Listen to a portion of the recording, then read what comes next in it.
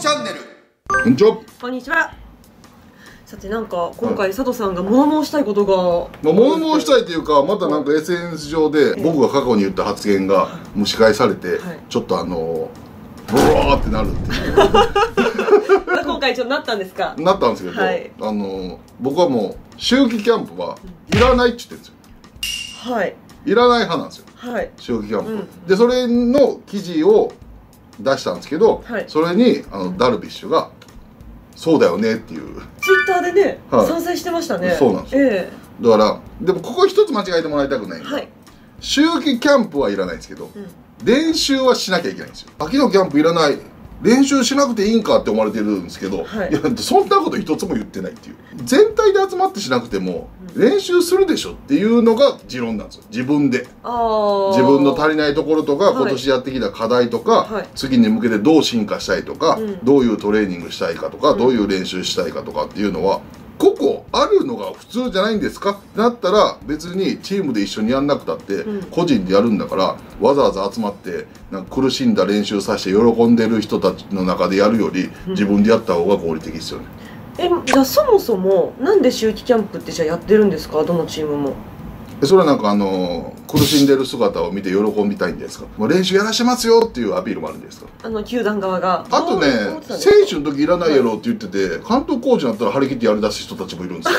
その違いなんなんやっていうのもあるんですよ。どうせオフになるんやから怪我してもお前いいやろお前ガンガンやらんかっていう人いるんですけど、いやそのあのオフ中に治る怪我するって分かるんですか？みたいな。はい。全治半年とかだったらどうするんですか？みたいな。全治3ヶ月みたいなのっはい。てキャンプ間に合いませんけどみたいな、その理屈もよく分かんないんですよ、はい。どうせ休むんやから追い込めみたいな。シーズン終わったばっかりもやっぱり練習しないとダメなんですか？ちょっと休んじゃダメなんですか？でちょっと休みますよね。今年のロッテは、うん。もう主力はもう休みなんですよ。もうそそうそう。あそっか選手によって来ない人いますね、はい、でまああとフェニックスリーグとかもあるんで、はい。そのフェニックスリーグに行く選手たちは今練習してるんですけど、うんうんあのもうロッテの場合は主力とかベテラン組ははい。もう全員オフです、へえ井口さんはねじゃあ若手だけでやる。だから若手はフェニックスリーグがあるんで、はい。そのために練習しとかなきゃいけないから、はい。その10月フェニックスリーグに行って、まあ、ひょっとしたらその若手だけキャンプに鴨川の方に行くかもわかんないですけど、あの僕はもう基本的に秋季キャンプはいらないんちゃうかっていう。だからまあ練習の仕方をはい。知らない若手の人たちに練習の仕方こういうのした方がいいよって教えるためにやるのだったらいいんですけど、うん。なんかエンドレスランニングとかはい。なんかエンドレス苦しいことで見れる方が楽しむみたいな。はい。あでどうせ休むんですよ、うん。オフだから、そうですね。その終わったら休みますもんね、また。はい、ねなってんのに、はい。それって必要あんのかなっていう。で個人でも追い込んでやるでしょっていう。はあいやでもそれでも結構オフの期間に結構太る選手とかもいるじゃないですか。ガーッと。うんだからそれを、はい。なんでっていうプロじゃないのっていう。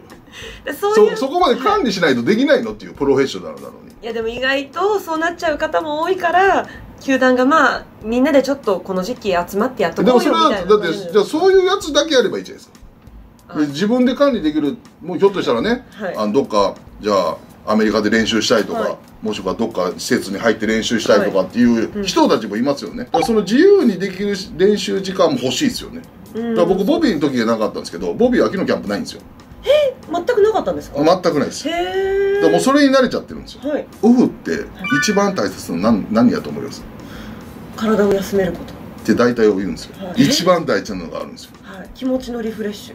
心のオフが、ああ当たった。はい、心のオフが大事なんですよ。はいだから11月ギリギリまでキャンプやるとまあ年明けてたらもう自主トレが始まっていくからスイッチ入るじゃないですか、はい。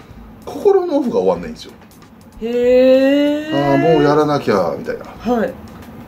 心のオフどのぐらい期間必要なんですか？いやボビーの時とかだったら、はい。もし10月1日でもう今オフになると、はい。こっからオフになるんですよ、はい。でそしたら11月入るぐらいの時に休みすぎじゃね？って思い出すんですよ。なるほど これちょっと休みすぎじゃない？どやばいっていうはい。ちょっと感覚が芽生えてくるわけです休ねみすぎてて。はい。でボビーの時は休みが結構多いから、はい。選手自主的にやることに慣れてるんですよ。はい。だって選手が休みすぎじゃないって思ってなかなかなくないですか ねそうですね。これ休みすぎじゃないっつって、はい。練習ガンガンしだすんですよ。はい。で1月入ったらもうスイッチ入ってるんで、はい。よーし行かなきゃっつって、うんうんすっごい加速でいけるんですよ。はい。だからこうキャンプに向かって行きやすいですよ。ねああでもいきなり加速するとなんか怪我とかしないんですか？いやだからもうでも年末ぐらいから来てるじゃないですか。ああそ気持ちの上でガッていくだけなんで体はもう出来上がってるへえまあそっちの方がじゃあ佐藤さん的にはもいや僕はプロだったら自分でやりたい練習あるでしょっていうだからもう僕ねシステム変えたいんですよううんこれもうずっと言ってるんですけどはい今うん。2月1日からはい。11月最後30日かな。はい。までがプロ野球契約期間なんですよね。はい。11月末までなんではい、はい。だこの10ヶ月契約なんですよ。はい。で12月と1月っていうのは、うん。あの契約期間外だから球団の指図にを受けなくていいんですよね。へえそうなんだからその代わりユニフォームもはい許可なく着ちゃダメなんですよ、はい。だから自主トレとかジャージでするじゃないですか。そうですね。でコーチも12月1月は、まあ基本的には教えちゃダメなんですよね。へえ選手を。はい。だから2月から11月はい。までなんですけど、うん。この10ヶ月が、まあ、昔はフリーだったんですけどそのやっぱり選手の自分たちのその時間も欲しいっていうところでそうなったらしいんですよね、はい。だからこの2月から11月のスケジュールを変えたいっていう。どうしたらいいですか？とね1月15日から11月15日まで、おー15日ずつずらすと。はい。はいそしたら、い。10 1月15日からキャンプ行けるじゃないですか、はい。今なんて開幕も早くなってきてるし、はい。オープン戦とかの時期も早くなってきてるんで、キャンプで鍛える時間が少ないんですよ。はい。それのにここがふわっとしてるんですよ12月と1月が。ああなるほどなだからもうもっと大げさに言ったら、はい。もう1月から10月の契約にしたいんですよ僕は本当は。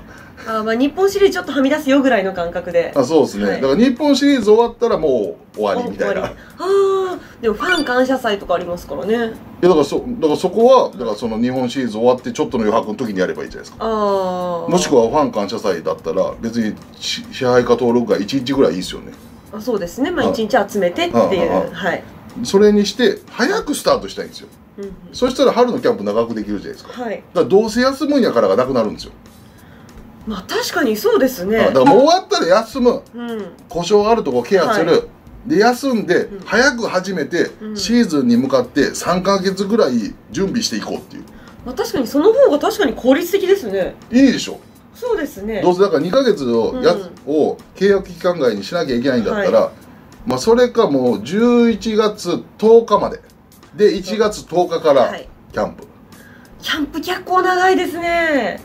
でそっちの方が良くないですか？どうせ鍛えるんだったら。秋のキャンプするより春のキャンプ長い方が僕は100倍マシだと思うんですよ、なんかキャンプその長すぎてあーってなったりしないんですか？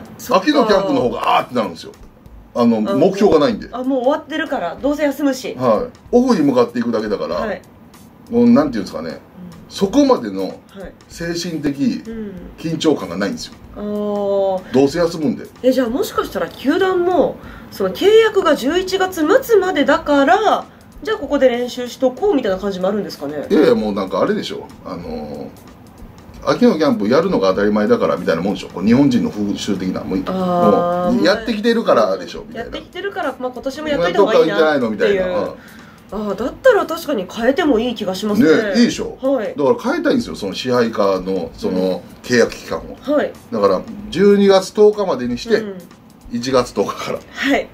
ここれだったら僕結構はいあの秋のキャンプやめて春のキャンプ長くした方がいいと思うんで、うんうん。結構効率的だと思うんですよ、そうですね。はい。なんかこう進言したらいいんじゃないですかそれどっかに。でそしたらまだどうせあの何かを変えるって日本の人が嫌うでしょ。いやでもこの動画がもしかしたら広まって SNS とかネットが世の中をちょっと変える時代になってきてるじゃないですか。そうですね。でも皆さんがツイッターとかでもう佐藤の意見に賛成だわーわーわーわーわーってなったらもしかしたら MPB が動くかもしれないまあ、動いてくれりゃまああとはあと僕が言ってるだけであと選手たちはどういう思いがあるのかですよね。そうですね。今のね。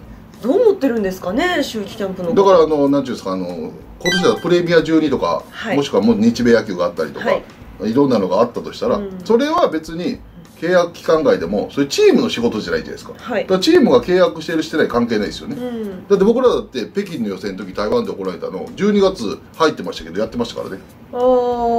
で今だとドミニカとか台湾とかウィンターリーグ行くのも、うん。本人の了承があったら行けるんですよね、へえチームが派遣して、そうなんですね。本人の了解があったらね、はい。らそういうなんかこうグレーなとこまで出てきてるんで、うん。それだったらもう早めにオフにして、うん。あとは全部自由にしして早めに集めてやれば秋のキャンプしなくていいじゃないですか。いやなんかすっごい納得しました今。そうですね。ね？うん。っていうシーンがあるはい。秋のキャンプいらないでしょうっていう問題なんで、はい。うん。もう一番は練習しなくてもいいって言ってないですからねっていう